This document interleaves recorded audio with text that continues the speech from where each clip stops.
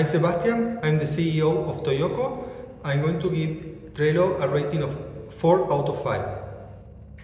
Before Trello, I used Jira a lot and Asana. Uh, sometimes I'm still using it in another project, but I prefer to use Trello. I use Trello because it's simpler to use. Each time I introduce Trello to a, a, a client, I, I, I deal with the clients that are not used with other more complex uh, software and they grasp it very fast.